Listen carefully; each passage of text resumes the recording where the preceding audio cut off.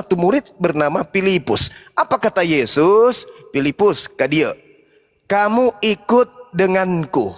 Di situ diterangkan kata Yesus, ikutlah aku, katanya. Pada keesokan harinya Yesus memutuskan untuk berangkat ke Galilea. Ia bertemu dengan Filipus dan berkata kepada Filipus, Filipus, ikutlah denganku. Berarti Filipus bersama dengan Yesus sampai di Galilea, Galilea mengajarkan Injil Allah dan di situ belum ada buku-buku yang dipakai sebagai pedoman keagamaan saudara-saudara Kristen hari ini. Mari kita lihat apa pekerjaan uh, uh, uh, Filipus kemudian. Di dalam kisah para rasul 8 nomor 35 maka mulailah Filipus berbicara dan bertolak dari nas itu. Filipus memberitakan Injil Yesus kepadanya. Ah, 30 detik. Yesus menuju ke Galilea. Di dalam perjalanannya bertemu dengan Filipus. Mereka berdua kemudian masuk ke Galilea. Apa yang mereka lakukan? Mengajarkan Injil Allah. Berpencar mereka kemudian Filipus mengajarkan Injil Yesus. Pada saat Filipus mengajarkan Injil Yesus, berarti Injil Yesus dan Injil Allah itu sama. Di situ belum ada Markus, Matius, Yohanes, Lukas, Filipi, Roma, Galatia, Kaliki, Kaluku, Pararang itu belum ada di situ belum. Tetapi Filipus sudah memberitakan Injil Allah. Filipus sudah memberitakan eh, Yesus sudah memberitakan Injil Allah. Filipus sudah memberitakan tentang Injil Yesus. Nah, sekarang permasalahannya. Kita ambil satu contoh. Lukas. Lukas ini di dalam ceritanya Lukas 1 apa yang dinarasikan kemudian oleh si Lukas?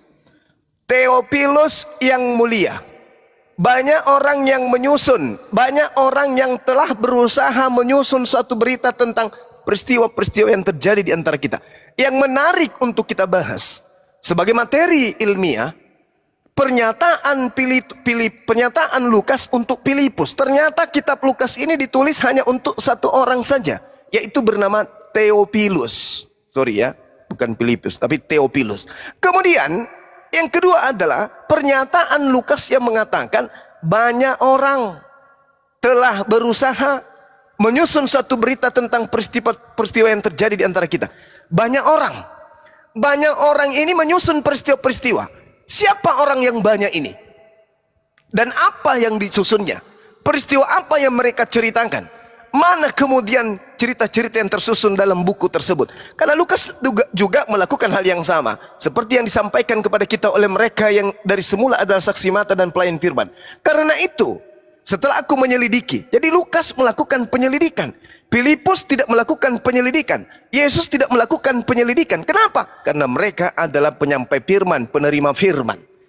Setelah aku menyelidiki segala peristiwa itu dengan sesama dari semula, Aku mengambil keputusan, aku mengambil kesimpulan untuk membukukannya dengan teratur untukmu Theophilus. Supaya engkau Theophilus dapat mengetahui bahwa segala sesuatu yang diajarkan kepadamu adalah sungguh benar. Nah, ini masalah ini. Ternyata kitab Lukas levelnya adalah ring 2 atau ring 3 atau ring 4. Level pertama adalah Yesus. Yesus mengajarkan Injil Allah. Level kedua, Filipus mengajarkan Injil Yesus. Ring ketiga, Lukas mengadakan penelitian. Ring keempat, ikutlah semua yang lain. Jadi Al-Quran mengatakan, Ya ahlal kitab lima talbisun al-haqqa bil batil wa taktumul haqqa wa antum ta'alabun. Itu. Orang ahli kitab mencampur adukkan kemudian antara hak dan batil. Mereka memasukkan karangan-karangan, informasi-informasi, kejadian-kejadian berdasarkan hasil penyelidikan mereka masing-masing. Tapi Yesus pengajarannya murni. Dia mengajarkan Injil Allah. Ini abdullah atani alkitab wa ja'alani nabiyan. Nabiyan. Sesungguhnya aku ini adalah hamba Allah yang diberikan kitab Injil kepadaku dan diberikan hikmat kenabian kepadaku. Nah sekarang kalau orang Kristen bertanya, wahai Islam, ya saudaraku Kristen, mana Injil yang Allah berikan kepada Nabi Isa? Jawabannya, Nabi Isa diutus untuk Bani Israel, Injil diajarkan kepada Bani Israel. Tanya dan cari di Bani Israel. Kami balik nanya, wahai saudaraku Kristen, ya Bang Suma, Di dalam kitab Markus 1 nomor 14, Yohanes 1 nomor 45, Yo, uh, kisah para rasul 8 nomor 35. Di situ jelas rangkaiannya. Yesus dan Filipus memberitakan Injil Allah. Di situ belum ada kitab yang lain. Kitab perjanjian baru itu belum ada. Tolong tunjukkan Injil Allah yang Yesus sampaikan itu mana. Umat Islam tidak umat Islam sabar. Umat Islam kemudian tidak mampu menunjukkan Injil dikarenakan Injil itu bukan untuk umat Islam, Injil itu untuk Bani Israel. Kristen kenapa ikut latah tidak bisa menunjukkan Injilnya Yesus sementara Kristen ini mengaku sebagai umatnya Yesus. Kristen ini mengaku sebagai pengikut orang Yahudi. Bahkan orang Kristen ini mengatakan Kristen adalah umat pilihan. Bahkan Kristen mengatakan bahwa Kristen itu adalah anak-anak Tuhan. Bahkan Kristen ini mengatakan diri mereka adalah Yahudi rohani, Israel rohani. Maka pertanggungjawaban untuk menunjukkan Injil Allah yang Yesus ajarkan itu Kristen. Tunjukkan Injil Allah yang Yesus ajarkan kepada Bani Israel kalau kalian betul-betul adalah pengikut Yesus. 2000 tahun lebih orang Kristen bungkam tentang materi itu. Silakan ditanggapi atau ditambahkan atau dikurangi kalau tidak enak di kuping. Silakan. Izin izin koreksi Bang dikit Bang. Silakan. Ya, tadi Bang Zuma menyebutkan kitab Ibrani itu penulisnya tidak diketahui. Iya. Bukan tidak diketahui Bang, tapi belum disebutkan. Oh gitu, malu-malu. Iya belum disebutkan karena bisa oh. jadi besok-besok itu diubah jadi eh, penulisnya Samion misalnya oh, atau iya. Naruto misalnya bisa jadi seperti itu Bang. Lanjut. Hmm. Iya iya. Kan Bang Valentino ditanggepin narasi dari uh, Gurunda Zuma. Silakan Bang Valentino. Dibuka mute-nya ya kan lalu tidur. Silakan. Baik baik. Baik. Makasih sudah khotbah luar biasa. iya iya. Itu khotbah tuh, Pak saya senang. Iya nggak apa-apa. Nah, jadi Silakan. gini Pak, sekalipun Bapak berkhotbah tadi bilang bahwa itu tidak benar dalam Alkitab, tapi bagi saya, Pak ya, firman Tuhan itu hidup. Jadi gini, saya berterima kasih kepada Bang Juma, ada seratus ribu kan yang dengar. Terima kasih karena firman Tuhan itu kayaknya lapal sekali Bapak. Sorry? Ya, Bang Juma ini lapal sekali untuk menyatakan firman Tuhan yang di Alkitab ini. Saya berterima kasih loh Pak, karena bagi saya itu adalah firman itu hidup. Seribu orang mendengar. Satu kali aku akan melihat di antara seribu ini akan mendengar tentang Yesus adalah Tuhan. Menurut saya, karena perkataan-perkataan yang Tuhan katakan di dalam Yohanes 6 ayat 63, perkataan-perkataan hidup dan roh. Jadi saya hidup. Saya berterima kasih Pak, semakin sering Pak Juma menceritakan ini, semakin luas Injil terberitakan. Orang yang mendengar hari ini mungkin hari ini meludahi, karena Yesus juga diludahi. Orang menghujat Yesus dulu juga nggak apa-apa. Yesus bilang, kamu juga akan mengalami yang sama. Tapi perkataan-perkataan yang kukatakan kepadamu adalah roh dan hidup. Jadi 1100 orang yang hadir saat ini sedang mendengar perkataan Tuhan. Saya berterima kasih loh Bang Juma. Semoga yang ada di 1100 ini mengerti arti firman Tuhan, menangkap sekalipun baik maksud palsu kata Paulus atau maksud benar, bagi saya itu tidak masalah. Bagiku adalah yang penting sukacita karena Injil adalah kekuatan Allah. Roma 16 Roma 1 ayat 16 aku meyakini bahwa Injil adalah kekuatan Allah karena Injil itu yang menyelamatkan. Nah kata Injil yang Bapak bilang palsu itu, ada empat menceritakan semua janji tentang Kristus adalah Tuhan. Jadi bagi saya Pak, mau Bapak menceritakan tadi pemutarannya, pemahamannya menurut pandangan Bapak, tapi menurut pandangan Alkitab yang saya tahu, bahwa perkataan Tuhan ini adalah hidup. Makanya dibilang dalam dalam Mazmur dikatakan 119 firmanmu adalah pita bagi kakiku, terang bagi jalanku. Jadi saya berterima kasih Bang Juma. Saya nggak mau berdebat, tapi saya bersyukur 1100 orang mendengarkan tentang Injil, baik maksud palsu maupun benar. Saya yakin perkataan yang dikeluarkan melalui firman Tuhan tumbuh dalam roh setiap kita yang mendengar hari ini. Puji Tuhan. Terima kasih Bang Juma. Lanjutkan. Ceritakan tentang itu walaupun maksud Bapak salah atau maksud Bapak untuk menjatuhkan. Tapi dengarlah perkataanku hari ini. Perkataanmu sedang membangun roh setiap orang karena firman Tuhan itu adalah Cukup, Pak. hidup. Terima kasih Pak. Tuhan berkati. Iya. Baik. Enggak ada bantahan ya itu. Nggak ada bantahan. Om Nggak Jo, dijawab. Biarin dulu Om Jo, biarin dulu. Eh, ya bentar ya, Dek. Jadi gini, kalau kita memberi, memberitakan sebuah berita tentang kejadian seseorang, kejadian sesuatu, Pak sebentar Pak izin ya pamit ya. Lagi ada kerjaan nih Pak. ya silakan. Itu bukan berarti kita sedang membacakan firman Tuhan. Kalau di situ memang bukan firman Tuhan, tetap aja bukan firman Tuhan. Saya memberitakan apa yang ada di Bible, justru itu mengungkap kebenaran Al-Quran. Al-Quran mengatakan, Ya ahlal kitab lima talbisun al-haqqa bil batil. Al-Quran mengatakan, Fawailul lilladzina yaktubuna al-kitaba bi aidihim, thumma yakuluna haza min indillah. Al-Quran menerasikan wa minhum ummiyuna la ya'lamuna al-kitaba illa amaniya wa inhum illa wa, wa, wa inhum illa yazunnun. Al-Quran menarasikan itu semuanya. Bahkan Al-Quran kemudian menyeru Bani Israel untuk kemudian meninggalkan ajaran mereka disebabkan karena mereka telah telah menghapuskan dan memutarbalikkan firman Tuhan yang ada di tangan mereka. Bahkan Al-Quran menyeru kepada Bani Israel untuk menuju kepada kebenaran Al-Quran. Yahdi bihillah manittaba'a ridwana subulas salam. Menuju kepada keselamatan. Meninggalkan kitab-kitab terdahulu yang sudah tercemar. Ya ahlal kitab kad ja'akum rasuluna yubayyinu lakum kathiran mimma kuntum tukhfuna minal kitab wa ya'funa an kathir. Wahai ahli kitab, sungguh Nabi Muhammad telah datang kepadamu menjelaskan kepadamu banyak hal dari isi kitab yang kalian sembunyikan dan banyak pula yang dibiarkan oleh beliau untuk tidak dijelaskan. Sungguh telah datang kepadamu cahaya dari Allah yaitu Islam, baginda Rasulullah Muhammad sallallahu alaihi wasallam dan kitab yang menjelaskan yaitu Al-Qur'an. Jadi jangan Anda kemudian membolak-balikkan keadaan dengan Bang Suma menjelaskan isi Bible. Bang Suma sudah memberitakan firman Tuhan. Becak bom-bom. Itu bukan firman Tuhan. Yang disebut firman Tuhan itu adalah yang diterima oleh Nabi Isa alaihi salam, yang diterima oleh Nabi Musa alaihi salam, yang diterima oleh Nabi Daud alaihi salam, yang diterima oleh Lukas, yang diterima oleh Markus, yang diterima oleh Paulus? Apa? Hah?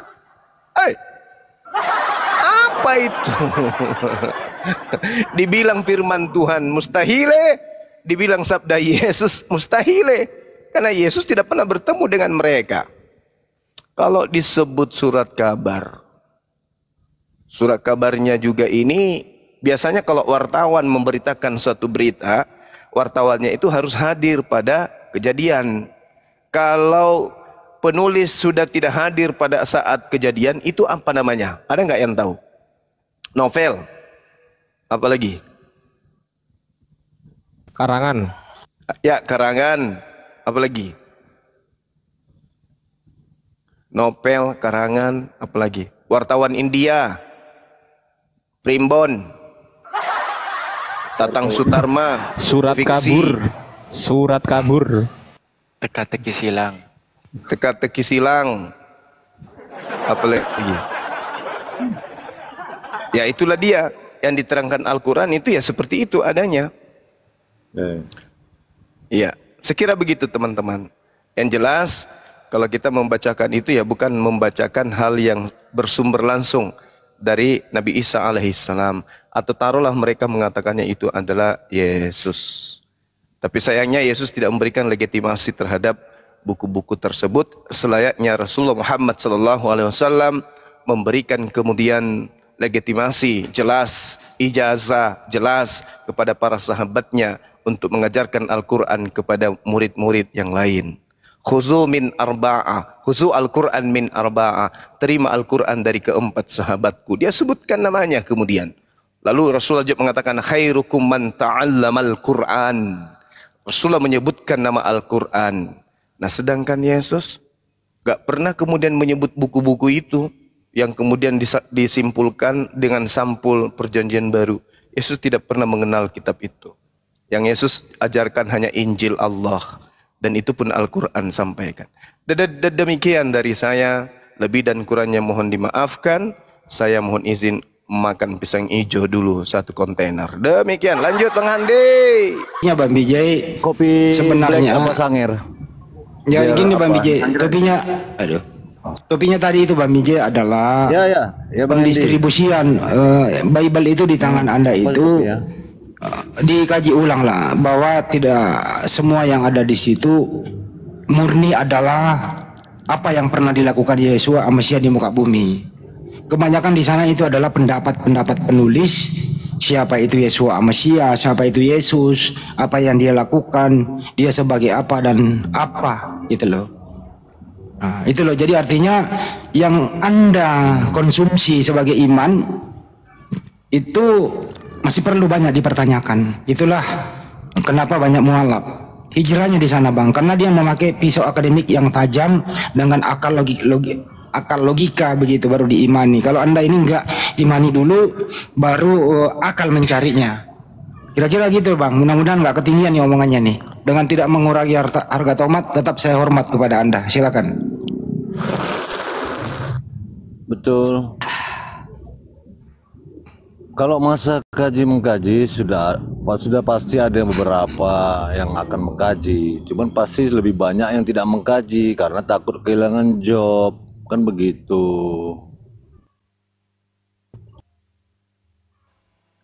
Maksudnya apa nih?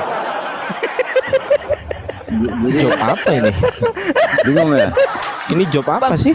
Bang Handi bahasa ngomong sih? panjang, Bang Handi ngomong panjang Bingung ya? lebar sampai muncrat-muncrat eh dianya tetap Bingung ya? nyambung. bingung. Aku pun bingung. Ditujukan buat BJ masuk Bang Handi gitu loh. Bang, Bang Jimmy nggak paham kalau kayak gitu. Gini lah, gini lah, Pak BJ. Bible yang Anda pakai itu tidak divalidasi oleh Yesus. Karena Yesus sudah tidak ada di muka bumi, baru dikumpulkan, ditulis, baru dikanon kembali. Setelah jadi, Yesus tidak paham apa yang Anda imani itu. Begitu maksudnya. Ini sederhana loh bahasanya ini. Ya bang. Ah, Tidak paham juga, dia. tidak paham. tidak mengenai mengenai Bible itu Bang Andi, Bang Jimmy juga memang sepakat Bang Andi. Dia nggak sepakat isinya itu dia nggak nggak yakin semuanya memang. Jadi Oh. bahas ke dia kayak gitu percuma Bang Andi. Jadi dia memang Dinarasikan aja Bang Jimmy. Jadi Selama ini bang, gimana? jadi bang, ya, ah, jadi bang Hendy, Bible-Bible yang anda bilang tadi itu berawal dari fakta sejarah konspirasi Pita Pilatus Herodes. Setelah konspirasi itu dimenangkan, itu sudah ada Bible-Bible yang tertulis banyak oleh imam-imam ahli Taurat. Mereka punya kaum, punya umat yang begitu banyak dan mereka memenangkan konspirasi itu. Nah, mereka-mereka itu berkembang biak dan bertambah banyak, beranak cucu sampai detik ini dan membawa dogma itu, kitab-kitab itu semua. Itu fakta. Jadi menurut Anda ajaran Yesus Amasya yang, yang sebenarnya terkalahkan oleh tulisan-tulisan atau liturgi-liturgi atau budaya-budaya setempat. Akhirnya Ya. ajaran asli Yesus terkalahkan oleh mereka, begitu? Ya, itu salah satu. Oke, terima kasih. Ya, terima gaji. Karena pada pa- Agak lain karena ini. pada karena pada fakta sejarah itu itu fakta itu Romawi sangat berkuasa.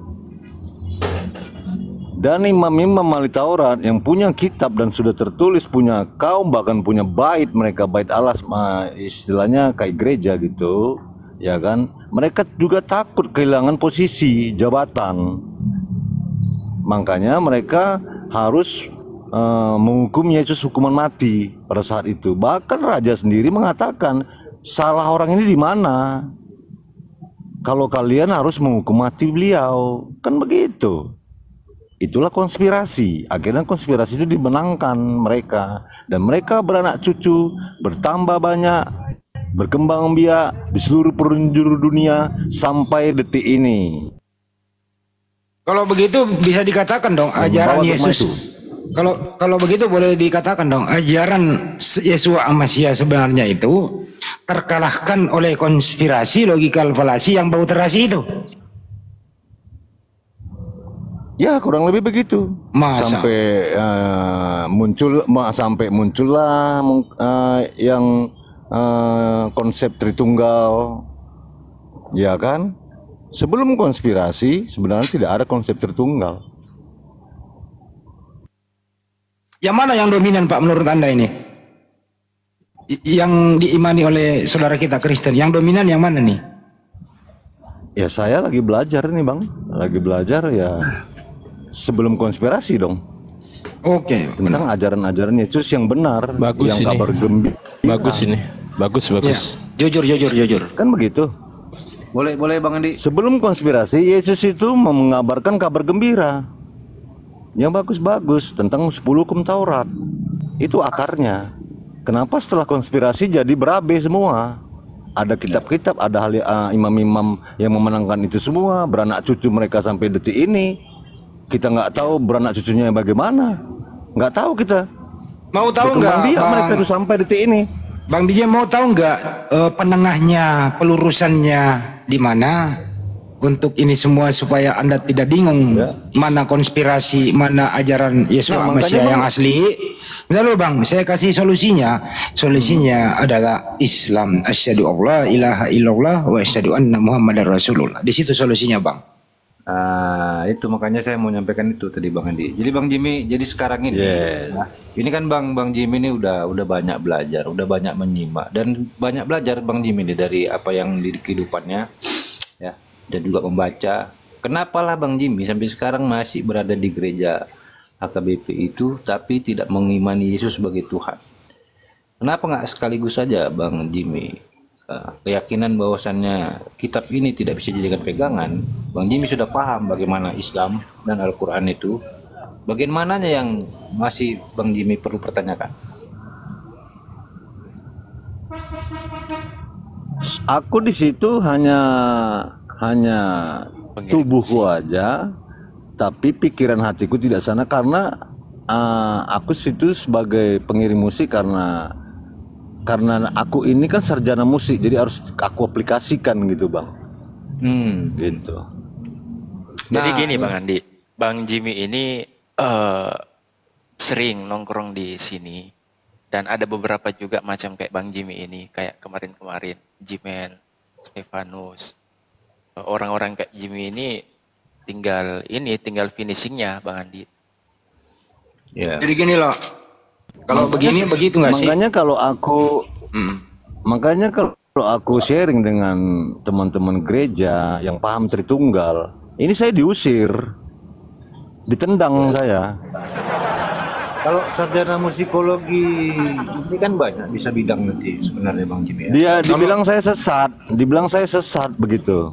Ah, Aku masuk ke perbandingan materi se- sedikit ya. Jadi biar nggak ngambang gitu loh. Biar jelas nih netizen ini ke arah mana Bang Bija mau ke mana ini sebenarnya. Eh ajaran Yesus Amasya kan jelas tauhid tuh Bang. Ulangan 64 misalnya.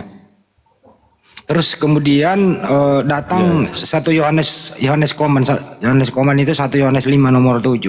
Itu situ ada penambahan tiga memberi kesaksian Bapa, Putra dan Roh Kudus. Menurut Anda nih sebagai pengamat yang sekaligus Anda imani itu kira-kira mana yang valid, Bang? Ulangan 64 atau 1 Yohanes 5 nomor 7?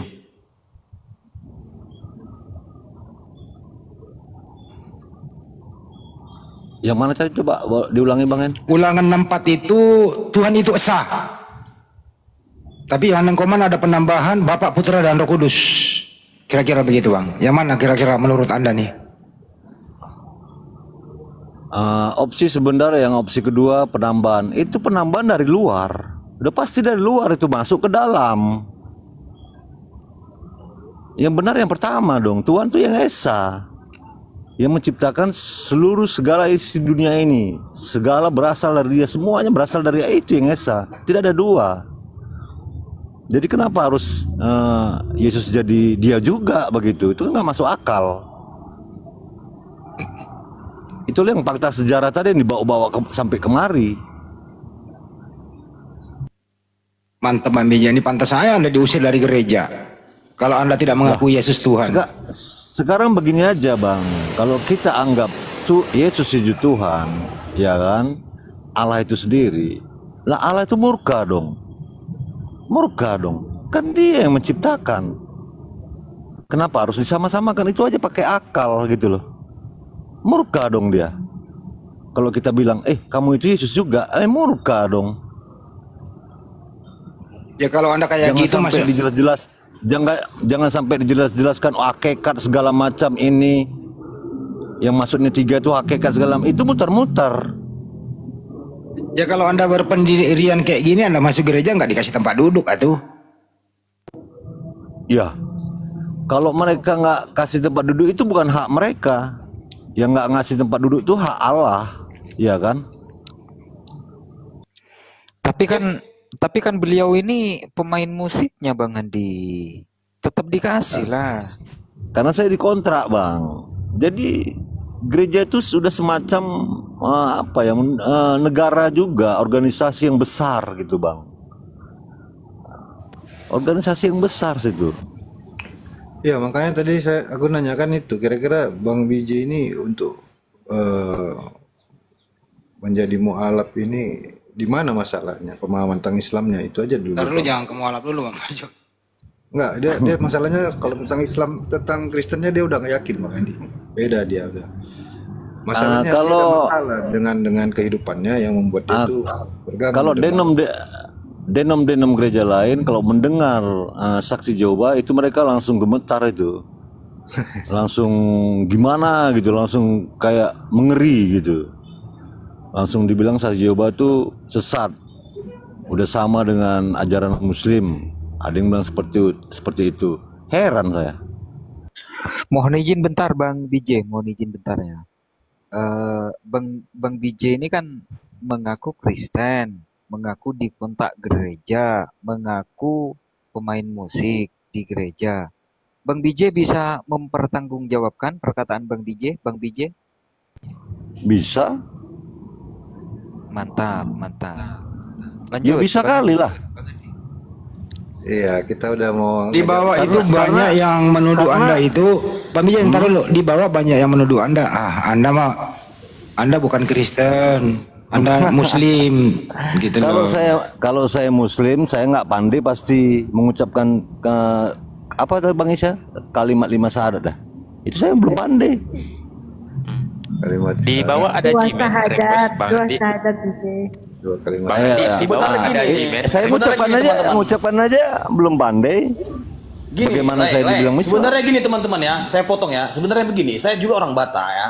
Saya Batak, saya Simajuntak, mualaf. Kalau di Oh, Batak saya- itu saya dilarang setuju. keras. Dilarang keras yang namanya bermualaf itu. Kenapa? Jatuhnya nanti ke adat. Dibilang nanti dale.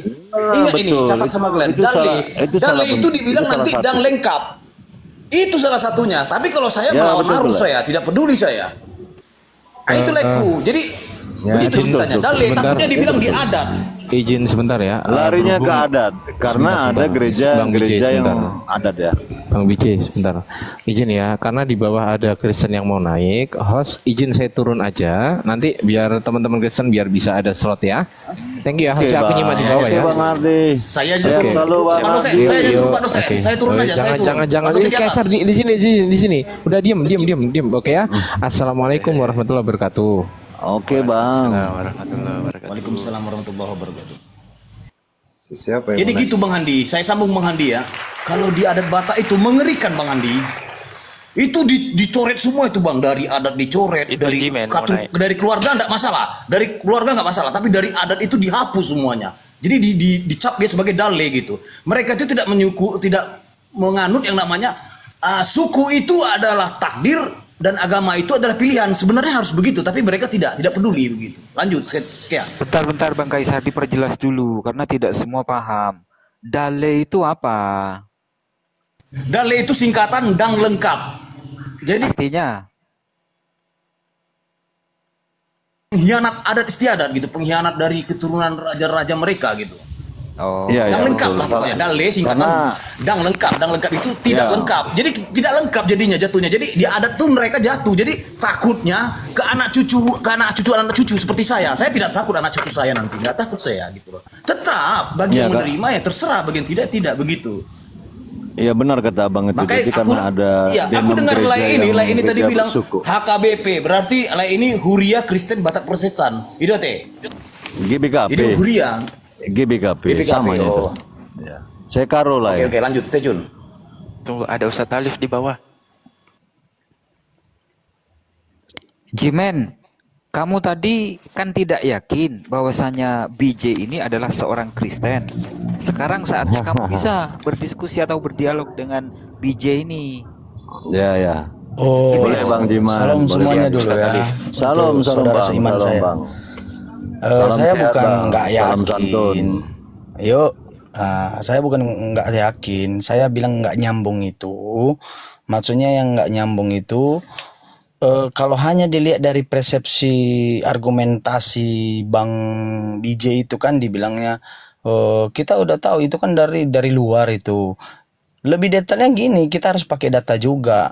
Kita harus pakai literasi bahwa pada dasarnya eh Yesus itu diturunkan dan Alkitab itu diturunkan eh, di Alkitab itu diturunkan atau Taurat itu diturunkan bukan untuk umat Kristen, Kristiani atau Kristen.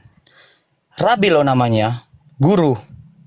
Ya, selama hidup itu dipanggil ya rabi, guru. Jadi bukan bukan eh, Tuhan.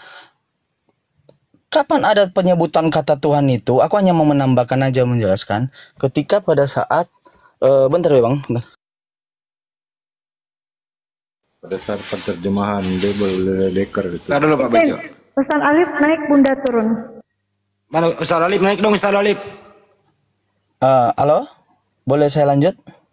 Dulu Ustaz Alif naik dong, minta naik Ustaz Alif. Ya silakan Bang. Ya, lanjut Bang, lanjut Bang, lanjut Bang. Ah, kalau hanya literasinya seperti itu hanya argumentasi, kita harus berikan data juga kepada eh, saudara seiman kita yang di bawah. Karena kan dari awal saya udah bilang, eh, lihat kisah Kristusnya, Yesusnya, kehidupan dia itu seperti apa. Ketika dia ber- berkata-kata kepada muridnya, orang-orang setempat pada zaman itu, ada nggak yang meng- mengatakan bahwa dia itu eh, Ye- eh, Tuhan, dan adakah diri dia menyatakan bahwa dia itu Tuhan? Justru kata-kata yang bilang aku dan Bapak itu adalah satu dipelintir. Kenapa aku bilang dipelintir oleh bapak-bapak gereja? Karena pada tahun kira-kira tahun berapa ya? Kalau nggak Dan salah ini itu Bang Andi, Ji- abad eh, ketiga. Jimen ini sama Bang Jimmy ini belum pernah kom- eh, komunikasi sama Bang Zuma ya, Gurun Daya. Ya, abad ketiga, Oh, 325 saya lah. sudah pernah sama Bang Juma ini eh, di Komal satu bulan yang lalu ya kalau nggak salah. Oh dibantai habis aku. Pakai tapi bukan akun fan, pakai akun fake saya gitu. So- soalnya kan gereja kan harus saya waspada juga. Kan saya di GBI gitu takut gitu ya kan. Nah, pakai akun fake. Jadi sekarang aku nggak perlu pakai akun fake saya gitu. Saya yang jelas-jelas aja akun saya gitu. Nah, kalau Bang Juma udah dibantainya habis justru Bang Ah, Juma yang monitor, membuat Bang aku Jim. meneliti Monitor. lebih detail gitu. Ntar dulu, ntar dulu, ntar dulu. Biar Pak Jimin kelar dulu. Silakan Pak Jimin. Hal apa? Hal apa yang membuat Anda Monitor, Bang. terpesona Monitor, Bang dengan Jimin. Anda mengatakan Anda dibantai habis Bang Juma? Hal apa itu yang paling krusial? eh gini, memang saya sebelumnya saya awalnya kan sudah saya katakan bahwa meyakini tapi tidak 100% masih ragu tuh bahwa Yesus eh, bukan Tuhan. Sebab saya lihat literasi sejarahnya eh, logisnya historisnya dan ayat-ayat firman Tuhan se- secara sistematis agak ragu-ragu tuh antara yakin dan nggak yakin. Tapi satu bulan yang lalu sebelum pertama kali masuk saya di rumbang inspirasi ini kan saya udah mengatakan saya udah dibantai habis Bang Juma pakai akun fake gitu. Jadi saya apa perkataan Bang Juma itu saya rekam, saya nggak nelan bulat-bulat, saya cari tahu juga eh, yang yang memang betul gitu, memang betul saya teliti satu persatu sejarah tentang terkanonnya Alkitab, sejarahnya eh, murid-murid Yesus, yang lebih parah sejarahnya si Paulus. Wah, ini ini Muslim tapi kok dia lebih ngerti tentang Alkitab kami gitu. Itu itu yang menjadi dasar saya. Ah saya teliti nih dalam satu bulan ini apakah benar atau enggak saya cari tahu tuh. Sampai saya cari tahu di website yang harusnya itu mohon maaf ya website orang-orang Nasrani gitu. Orang-orang para para pendeta gitu. Bahkan saya tanya-tanya tuh sama bapak pendeta di GBI sini. Lalu jawaban mereka itu lebih ke jawaban argumentasi, bukan nasnya Alkitab atau literasinya Alkitab ataupun pandangan Alkitab gitu. Kontradiksi kontradiksi antara ayat dengan ayat. Jadi itulah in- bukan oke, inspirasi oke, saya baik, sih baik. sebenarnya. Ya nanti ini ada Ustaz Alif naik, Banyak lagi maghrib di sana. Mudah-mudahan nanti bisa speak. Menurut anda, nih setelah anda belajar selama ini, pandangan anda terhadap Yesua Amasia ini seperti apa? Biar ada topik silakan. Oke. Yesua ini ya atau Yesus, saya rasa dia itu rabi, nabi. Karena pada orang Yahudi, kita tanya nih, sampai saat ini digunakan orang Yahudi, ya terkecuali orang Yahudi yang mono- monoton dan eh, apa ya lebih flat dia menggunakan doktrin Bapak Gereja Katolik dulu karena Kristen belum ada. Yang pertama datang itu adalah Katolik. Jadi Kristen itu tidak ada. Mohon maaf, saya saudara seiman, saya juga dari Kristen itu Kristen baru ada ketika pecahan Martin Luther. Makanya Kristen Protestan. Dia hanya satu Oke Katolik. cukup. Ah. Jadi anda tadi mengatakan pandangan anda Yesua Amasia ini nabi, rabi, guru begitu. Nah menurut Iya, anda, utusan, rabi. Ya, Ah, ya, utusan. Menur- ya menurut anda siapa tokoh yang mempopulerkan bahwa Yesus ini ada unsur keilahian, ada ketuhanan di dalam dirinya? Siapa yang tokoh anda maksud? Itu itu pertanyaan yang bagus. Saya suka Bang En. Oke. Iya, silakan Iya, dijawab berdua. oke. Silakan dijawab Saya bisa- berdua dulu. Saya, saya bisa jelaskan secara eh, hasil dari pembacaan saya, penelitian saya ya. Ya, silakan. Eh, tahun sebelum dikanonkan itu, tahun sebelum dikanonkan 405 Masehi, kira-kira begitu kurang lebih ya, kalau nggak salah. Orang sebelum dikanonkan orang bapak gereja, eh, para gereja-gereja semuanya dan ahli kitab atau Taurat pada saat itu, eh, itu doktrinnya itu dari berasal dari Paulus gitu dari Paulus. Setelah berjalannya waktu, kebetulan pada masa jayanya itu adalah kerajaan Romawi, eh, dikanonkan bersama-sama dengan Bapak Gereja, di mana gereja-gereja Katolik itu ber- berkiblat atau ketuanya itu seperti eh, ketuanya itu adalah si Paulus. Ibaratnya aba-abanya itu dari Paulus gitu. Ini suratnya dari sini, dari sini, dari sini. Saya surat-surat saya yang menyurati itu kumpulkan semuanya selama sebelum dikanonkan dulu ya, sebelum dikanonkan. Setelah udah dikanonkan oleh bapak-bapak gereja ini, si Paulus yang berperan aktif untuk mengkukuhkan bahwa Yesus itu adalah Tuhan. Di mana dikukuhkannya? Yaitu di di Alkitab, di surat-surat dia yang sebelumnya pas dikanonkan. Nah, jadi Oke, cukup. sebelum di ya Ya, cukup. Eh, jadi menurut anda ada ini sumbernya dari tokoh Paulus kemudian dikanonkan bapak-bapak gereja. Pak Biji dulu baru ke Ustaz bersama bersama Paulus ya. Iya, di abad di abad konsili konsili gereja Katolik ya, bukan Iya, iya. Kristen. 318, 325, 381. Silakan Pak Biji. Pak Biji dulu Ya, baru kalau Ustaz saya Alif. yang saya Silakan. bilang tadi. Kalau saya yang saya bilang tadi bang itu semua berasal dari uh, kemenangan konspirasi. Jadi yang dibilang bang Jamin tadi uh, tentang Katolik tadi jangan lupa bang Jamin itu ada imam-imam ahli Taurat ya yang sudah punya kitab dan sudah punya umat dan punya bait Allah. Itu mereka bapak-bapak gereja pada fase itu ya. Itu harus diingat itu fakta. Mereka sampai detik ini berkembang biak dan mem- membawa doktrin itu Oke. Saya paham, saya paham itu, saya paham. Eh, sebenarnya saya mau naik di atas ini, saya mau menjelaskan kepada saudara-saudara, ini seiman nih. Banyak loh yang tidak setuju kalau memang abang tadi dan memang dari ke apa ya Kristen ya, dari gereja, ba, gereja mana kita bang? Batak ya? Halo? ya saya cuma di tubuh aja cuma Ini di bawah ini moderator diatur. Oh. ah, Saya moderatornya jadi- loh, jadi- jangan atur di bawah ya. Ah, jadi instruksi ya bang Jimin tadi itu bukan argumen saya tapi itu fakta sejarah ya yang real Iya, iya, udah benar sebenarnya itu ada konspirasi.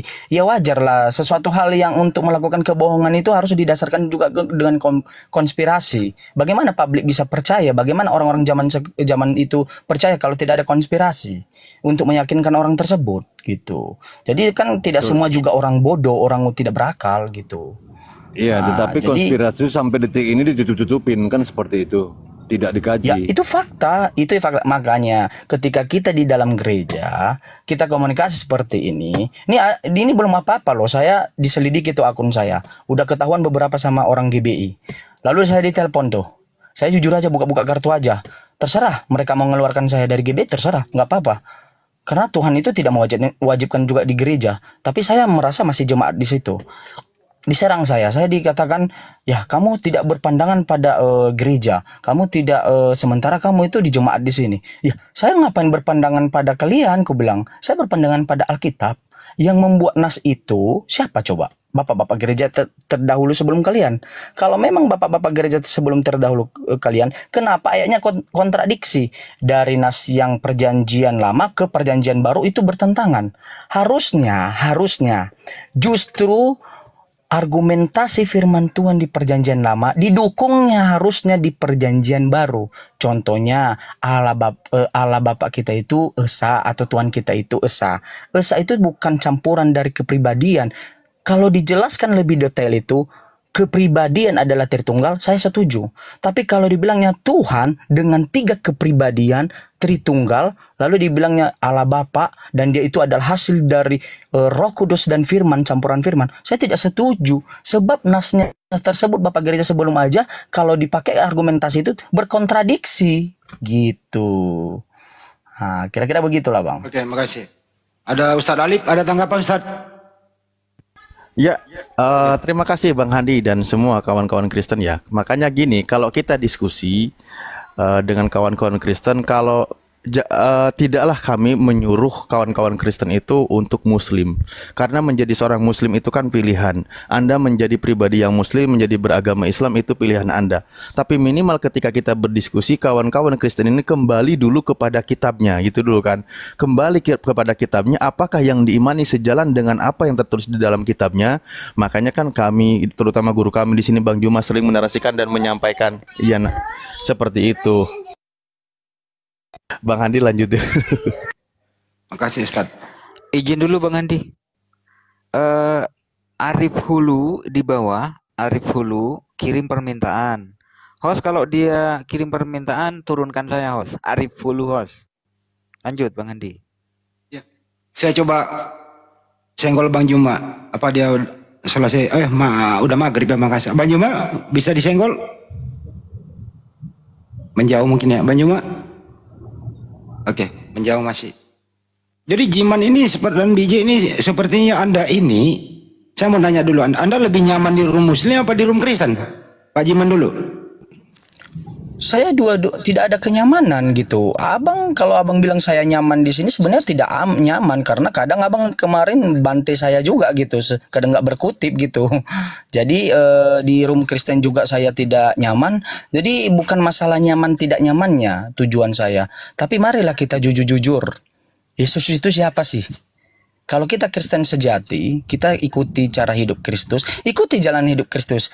Soal kebenaran nanti di ujung-ujungnya akan dituntun dengan pelan-pelan menurut pribadi saya. Tapi dengan catatan, carilah firman Tuhan yang memang dasarnya dari firman Tuhan. Bukan yang dari doktrin-doktrin, dogma-dogma ataupun pandangan-pandangan Bapak gereja. Sebenarnya kita ini di era sekarang ini udah enak kali dapat informasi. Sudah enak kali. Contohnya, kita bandingkan tentang firman Tuhan. Bandingkan aja Alkitab tahun berapa dengan apa? Ketik di digital. Tidak dapat. Pergi ke Gramedia, tidak dapat. Pergi ke perpustakaan ke apa eh, di provinsi. Itu ada di situ, gampang sebenarnya gitu. Yang masalahnya orang-orang seiman saudaraku ini hanya bisa malas dan malas untuk mencari tahu hanya bisa berpatokan oh dia bapak pendeta oh dia evangelis dia orang itu dia ini eh, eh, pengurus gereja kita harus hargai. Oh apa perkataan dia? Udah pasti benar. Tidak tidak semua. Kalau dia semua pasti benar dia nggak akan jadi manusia gitu. Orang nabi aja pun ada kesalahan dia kok ada dosa dia Kan dia baru dia baru seseorang itu diangkat nabi ketika dia lulus ujian dari dari Allah Bapa gitu. Pak Jeman, sa- Pak Jeman, ya. i- iman itu menurut Anda harus sesuai dengan akal atau iman itu merusak akal? Yang mana menurut Anda yang benar? Oke, kalau menurut pandangan saya ya, kalau dibilang saja sama saya sekarang, lu harus beriman tuh. Kutu kupret itu, saya iman itu pohon, saya sembah tuh pohon. Itulah yang terjadi zaman dulu, batu saya imani.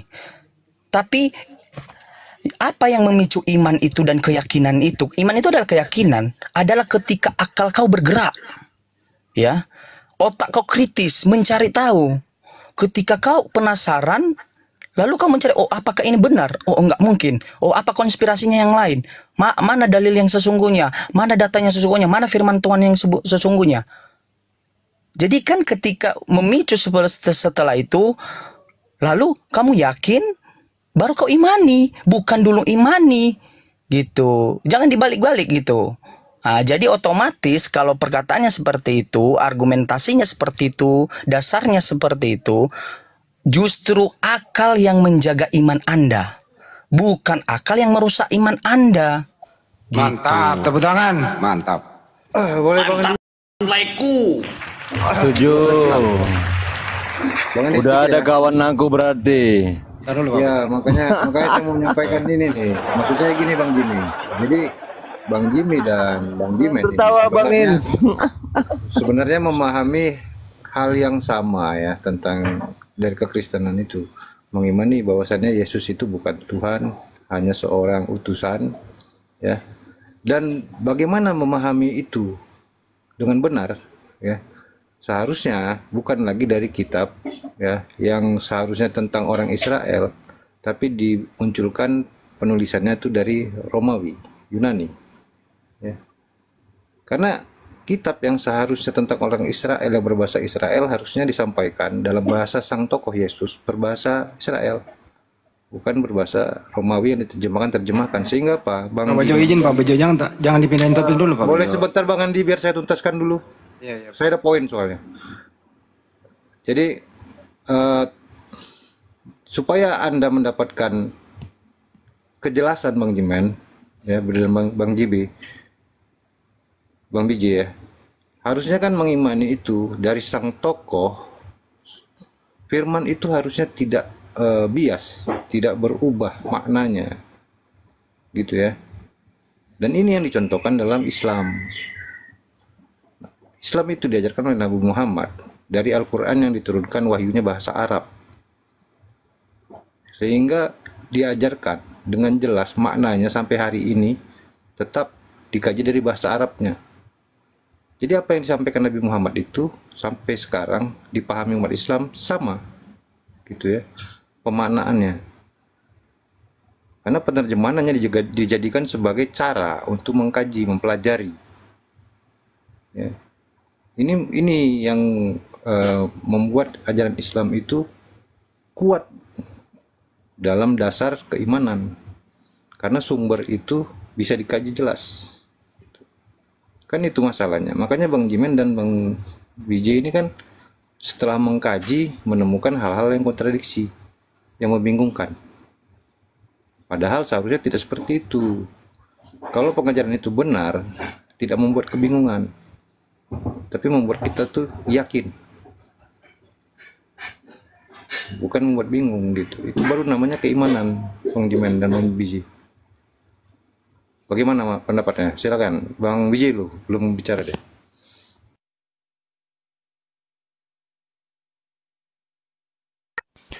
Ya, atau sambil nunggu saya j- terusin. Mana ini tadi? Silakan Bang BJ, Bang Jimen. Maaf tadi aku kepotong. Ditanggapi dulu. Cek. Ya udah Halo. udah pas itu, udah pas. Oke. Kalau gitu kita lanjutkan lagi ya.